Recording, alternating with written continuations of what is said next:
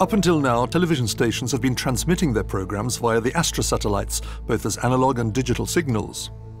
The satellites receive both types of signal and transmit them further.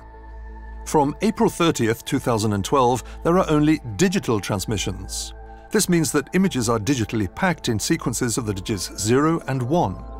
This codification enables the transmission of significantly more information. Instead of just one TV program, a whole range of programs can be broadcast via a single transponder on the satellite. The viewer receives more programs of a better quality, even in HD.